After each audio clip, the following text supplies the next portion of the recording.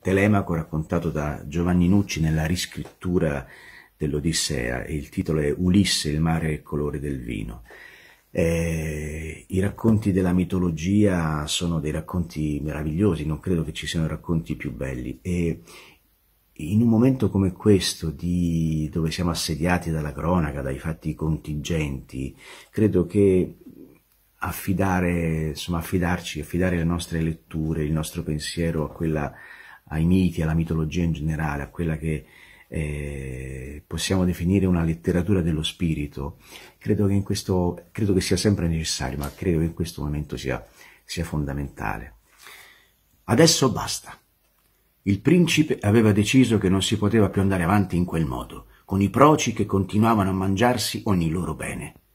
Ma finché Penelope non finiva la sua tela e non prendeva una decisione, i pretendenti sarebbero rimasti.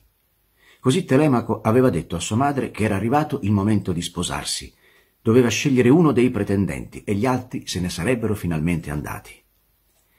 Penelope davvero non era sicura di aver capito che cosa avesse in mente suo figlio.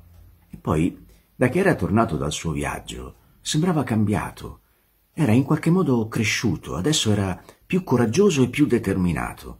Ma a Penelope sembrò che Telemaco fosse diventato anche un po' più cattivo, anche se magari era solo un'impressione.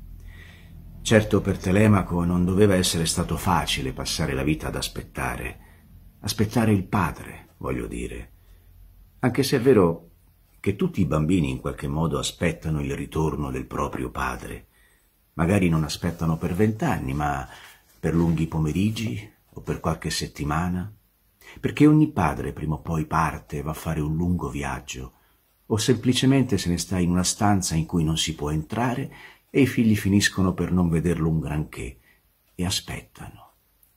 Questo fino a quando non arriva il momento in cui devono diventare grandi e andarlo a cercare, il padre, per raggiungerlo in qualche luogo lontano o farsi coraggio, andare in quella stanza, bussare ed entrare nel mondo. Ad un certo punto ad Itaca era arrivato questo nuovo insegnante, un altro precettore per Telemaco, e non era chiaro se lo avesse mandato a chiamare Penelope o cosa, ma quello era arrivato. In effetti Telemaco ultimamente era rimasto un po' indietro con gli studi. Non si applicava, difficilmente arrivava al mattino con tutti i compiti fatti e per lo più non riusciva a concentrarsi. E questo nuovo precettore invece sembrava funzionare bene e anche Penelope ne era contenta. Adesso Telemaco si impegnava di più e forse quello lo aveva preso per il verso giusto e lo aveva a suo modo appassionato alla storia, alla poesia, al teatro, alla musica. Gli insegnava le meraviglie della matematica, la meccanica dei pianeti, le sconfinate distese del pensiero che possono spalancarsi con la riflessione e con il ragionamento. Finché un giorno, e quel giorno il precettore sembrava particolarmente risoluto, gli spiegò la storia di un principe in effetti più che raccontargliela gliela stava spiegando.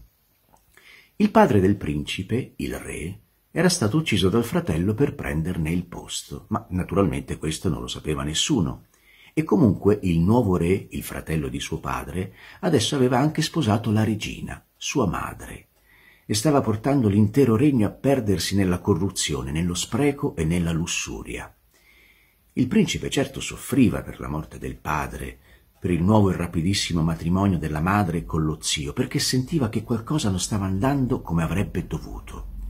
Ma non capiva bene perché, come se non vedesse abbastanza chiaramente che cosa stava succedendo, finché non gli apparve lo spirito di suo padre per spiegargli la verità e spingerlo alla vendetta. E a quel punto il principe che cosa ha fatto? Domandò Telemaco che cominciava a sentirsi in ansia. Non sapeva che cosa fare, rispose il precettore. Non era facile decidere, soprattutto non era facile riconoscere lo spirito di suo padre. Telemaco non riusciva a capire. Era il padre che gli parlava o era lui che parlava a se stesso? O forse, aggiunse il precettore, il principe sperava che il padre non fosse morto e per questo si immaginava uno spettro che gli parlava in piena notte dai bastioni del palazzo reale. Il principe non riusciva a capire e più si poneva quella domanda sono io o è mio padre? E più pensava di impazzire. Telemaco adesso, se è possibile, era ancora più confuso. Qual è la risposta? domandò. Di chi era quello spirito? Del principe o di suo padre? E alla fine che cosa fece il principe? Vendicò suo padre? Uccise chi stava cercando di usurpare il trono? Salvò sua madre? Il precettore lo guardò sorridendo, con gli occhi che scintillando sembravano gli occhi della dea, ma non disse nient'altro. Ed è per questo che Telemaco era partito e aveva cominciato a girare per il mar Mediterraneo chiedendo notizie di Ulisse, per capire chi era suo padre, il re di Itaca.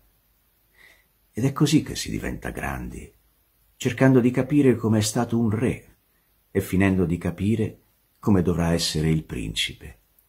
Telemaco in quegli ultimi mesi aveva navigato, cercando di capire tutto ciò e di che colore si riflette la luce nel mare colore del vino.